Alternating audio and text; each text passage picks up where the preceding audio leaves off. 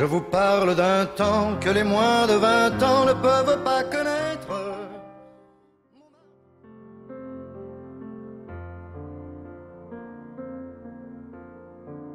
Bonjour, je suis Louise Fogg-Bellé, artiste peintre de Charlevoix. La peinture a toujours été présente dans ma vie. On pourrait dire que j'ai eu une vie tout en couleur. Je peins depuis les années 60 et à tous les jours, c'est le bonheur d'être devant une toile.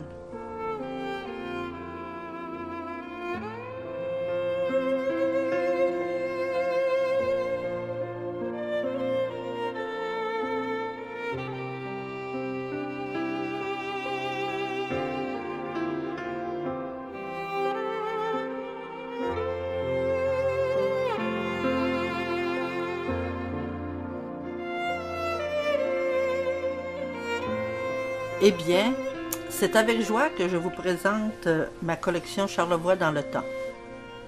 C'est un projet que j'ai réalisé à partir de photos noires et blancs des années 30 et 40.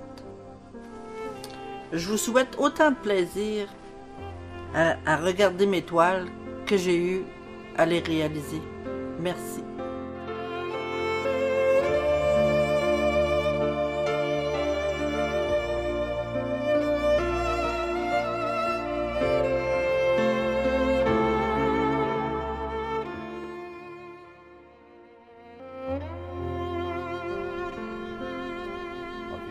Saint-Urbain en 1940 dans le rang de la décharge.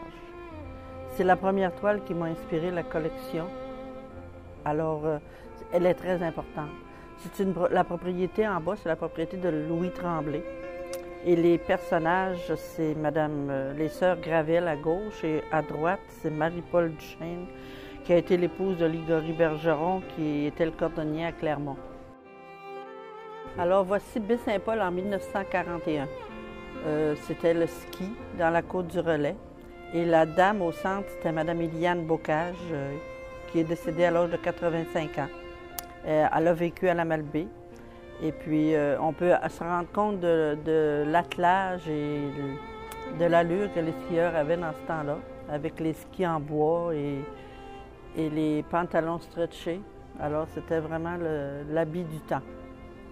Saint-Paul, en 1950, en plein hiver, vous avez euh, le cheval qui monte euh, dans la côte du Pérou. Et euh, vous avez à gauche, c'est la 138 et à droite, au loin, où l'église, c'est la 362 qui s'en va par là. Alors, c'est vraiment un beau paysage d'hiver de Baie-Saint-Paul.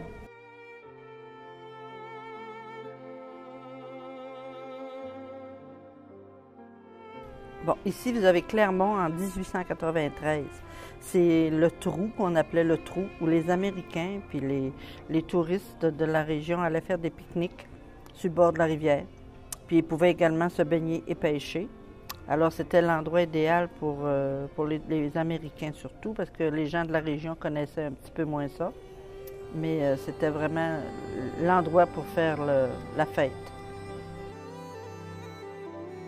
Île aux coudes en 1940, euh, on baratte le beurre et euh, il y avait le moulin avant qui servait à battre les grains pour faire de la moulée. C'était Blanche et Louis-Abraham Tremblay, qui étaient frères et sœurs. Et la fille au centre, c'est Rita, qui était la nièce. C'était des cultivateurs, puis ils faisaient leur beurre. Alors il y avait vraiment euh, la baratte à beurre est très bien visible sur cette toile.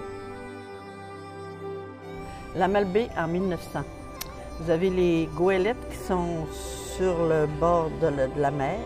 Et ces goélettes-là, c'était des goélettes à, fond plat et à quilles.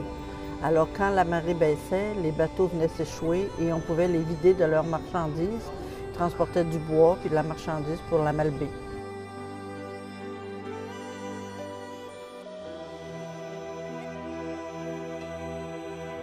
Les éboulements en 1940. Ce sont les vaches à M. Joe Tremblay 19.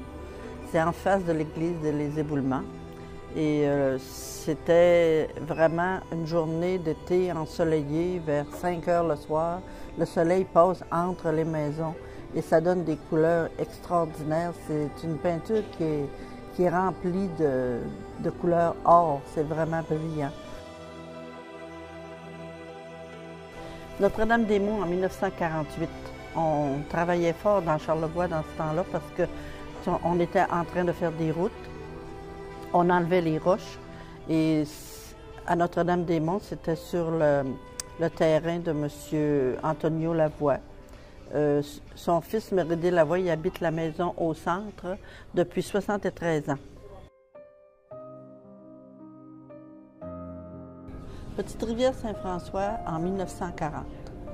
Euh, c'est une cabane à sucre qui a été la propriété de Henri Bouchard avec son fils André dans l'échelle. Et ça a été le propriétaire actuel, c'est le docteur euh, Henri-Louis Bouchard, qui était le frère de Charles, l'ancien propriétaire.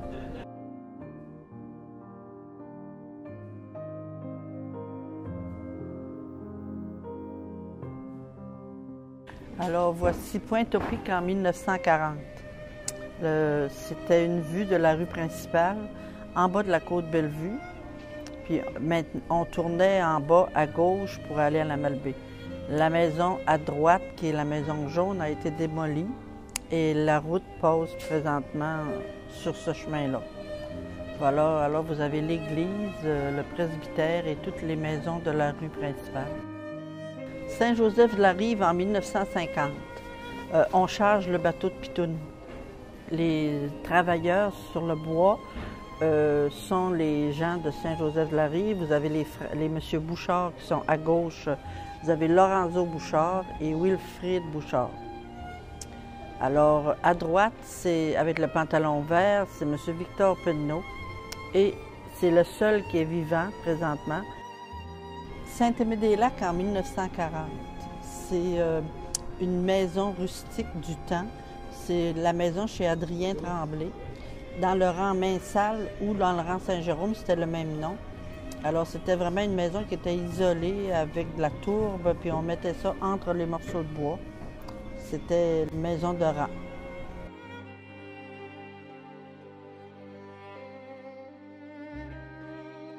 Saint-Fidèle en 1942, dans le rang Sainte-Mathilde, c'est la, visite aux malades. C'était dans ce temps-là le curé Imbeau qui venait rendre visite aux malades. Et quand le curé arrivait, là, tout le monde se mettait à genoux. Vous avez ici euh, les Jean-Marie qui est à genoux avec Julien et Françoise. Et le chauffeur de taxi, c'était Monsieur euh, Henri Savard de Saint-Fidèle aussi. À Saint-Hilarion, en 1940, la maison chez M. Arthur Gravel. Sur la galerie, vous avez les deux plus jeunes enfants, ce sont les Anne-Marie Tremblay et Laurent Tremblay et Rosa Gravel, la tante. Alors, euh, c'est une euh, vue sur l'église de Saint-Hilarion en même temps avec toutes les petites maisons qui étaient dans le coin.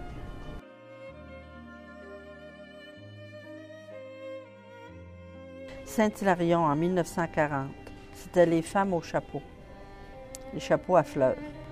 Euh, la femme du centre, ça a été toute une émotion de, de faire cette toile-là parce que je me suis rendu compte que la femme qui était au centre était toujours vivante et je l'ai rencontrée l'été dernier. Ça a été extraordinaire de la rencontrer. Alors, celle à droite, c'était sa mère et à gauche, c'était sa sœur Agathe. Saint-Irénée en 1930. Alors, on peut se rendre compte qu'il n'y avait pas beaucoup d'arbres. On est capable de voir le quai. Et vous avez la route qui était en gravelle. Vous avez les maisons qui sont toujours là, ici dans le bas de la côte. Euh, les, propriétaires se sont reconnus. Euh, alors, euh, c'est un endroit, c'est dans le détour complètement tout près de l'église et de l'école. C'est une très belle vue de Saint-Irénée. Sainte-Agnès en 1940. C'était vraiment l'odeur du bon pain. Sur la photo, vous avez au centre avec la robe jaune, c'était Rita Odette. Et à droite, c'était Marie-Jeanne Tremblay. C'était sa belle-sœur. Alors, euh, les deux personnes sont, sont, décédées, mais il reste des, enfants et de la famille de ces deux dames. Alors, c'est super intéressant pour eux de pouvoir voir leur mère. Capalègle en 1960, c'était la patinoire chez Morgan à la Chouette. Cette pièce-là, cette peinture-là, c'est vraiment une composition. Euh, c'est à partir de beaucoup de mes souvenirs d'enfance, parce que c'était le, lieu de rendez-vous de toutes les jeunes de, de 15-16 ans et plus, admettons, mais c'était surtout euh, l'endroit où on allait pour rencontrer euh, des chums. Petite Rivière Saint-François, en 1940. C'était le pelage de l'anguille. C'était l'endroit où il y avait le plus de pêche à l'anguille, à Petite Rivière Saint-François. Et euh, c'était chez M. Ligori Simard à la Grande Pointe. Alors les femmes sont en train de peler les anguilles pour pouvoir les s'en servir. Alors c'était la méthode du temps. On s'installait dehors pour pouvoir peler les anguilles. Saint-Siméon en 1950, c'était, on attendait le, traversier, le bateau.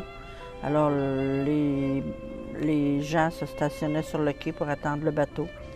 Et il y avait toujours une activité avec les, euh, goélettes. Les goélettes transportaient le bois et quand on, on chargeait les goélettes avec le bois, il en tombait souvent à l'eau.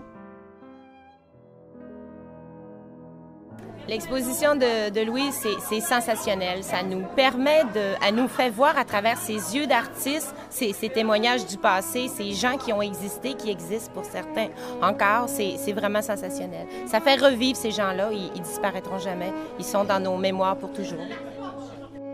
Euh, Louise a été mon premier professeur. J'ai pris des cours. Les premiers cours de peinture que j'ai pris, c'est avec Louise. Après ça, j'ai continué par la suite et j'ai toujours suivi Louise, tout le temps, tout le temps. J'ai des toiles de Louise qui sont rendues en France, que j'ai achetées parce qu'on a un échange culturel avec une chorale et quand je suis allée en France, j'ai apporté des peintures de Louise en France. J'en ai dans ma maison chez nous et les enfants aussi, j'en ai acheté pour mes enfants. Alors Louise, pour nous, c'est c'est notre artiste. Hein. C'est de la région et puis on l'encourage. Puis elle fait tellement des belles choses. Elle crée avec son âme. C'est extraordinaire. Euh, elle est terriblement bonne, Louise. Euh, ça donne de la gaieté ici. je l'admire énormément. Je n'ai pas de mots pour le dire. Je suis émue de voir tout ça parce que Mme Bellé, je ne la connaissais pas tellement. Et je la trouve vivante, je la trouve tellement dynamique. Euh, ça nous donne le goût de peindre aussi, là. Alors, ma, madame ici est mon mentor et je commence à, faire des petites peintures. Ça, vous Mais, Oui, puis j'aimerais être aussi euh, vivante qu'elle à travers tout ça. Super, euh, les peintures vraiment bien. On voit qu'il y a du, beaucoup de talent là-dedans. Et je trouve que on remarque surtout qu'il y, a beaucoup de vécu dans ces photos et c'est vraiment exceptionnel. Extraordinaire. Moi, je trouve qu'elle a du talent, a du talent, a du talent à revendre, comme on dit. Hein? Puis toutes les peintures qu'elle fait, là, le, monde en dehors de Charlevoix nous en parle en plus. Nos amis viennent puis disent On n'a jamais vu une exposition de même. C'est tellement beau. C'est des talents de Charlevoix. Ah, moi, pareil. Parce que si j'avais de l'argent, j'achèterais celle-là, l'ancienne rue des Pointe-au-Pic. Parce, qu'on est dans le coin de Bellevue, c'est de toute beauté. De toute beauté. Elle a un talent fou. Moi, c'est ma belle-mère, puis je suis fier de ma belle-mère. Ça fait tellement longtemps qu'elle fait ça. Hein, puis euh, l'idée qu'elle a eue de, reproduire les, peintures dans le temps, euh, ça amène la vie, comme elle dit. Puis moi, je trouve, je trouve ça extraordinaire. J'ai toujours su que ma mère avait du talent. puis euh, je me rappelle quand j'étais petite, je la voyais, je m'assoyais à côté d'elle, puis elle faisait des peintures durant des jours et des jours et des jours. Puis elle n'a pas changé même euh, plusieurs des décennies plus tard, je la regarde, puis elle adore, elle a encore la même passion qu'elle avait euh, à ce moment-là. Puis euh, ça se reflète dans ses peintures parce que c'est, c'est merveilleux de voir tout ce qu'elle peut faire, puis que les gens sont touchés autant que nous qui sommes fiers d'elle. Maman, je t'aime, puis je suis vraiment fière de toi, de voir tout ce que tu as fait. Puis je pense que je suis pas la seule. C'est le concept de l'expo qui est extraordinaire. L'histoire, euh, toute la pédagogie qu'il y a là-dessus, puis tout ça. Là. Puis je disais à quelqu'un tantôt que nous, on n'a pas connu ça. Donc c'est le hier et le autrefois. Puis pour nous autres, c'est aujourd'hui et maintenant. Merci, maman. Je t'embrasse.